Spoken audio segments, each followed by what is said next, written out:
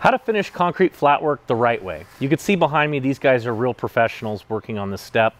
They've done the calculations on the formwork, they've leveled everything perfect, and then when it came time to actually pour the concrete, they stripped it at a moment that was absolutely perfect. When it was set up enough so that way it would keep its form, but there was also enough moisture in it that you could work out with a steel trowel covering over those rock pockets. You can you, you, notice when you pull forms off, sometimes there's little voids. Well, they do that at the right moment when it's just got a little bit of moisture in it so they can fill in those rock pockets with a little bit of excess concrete.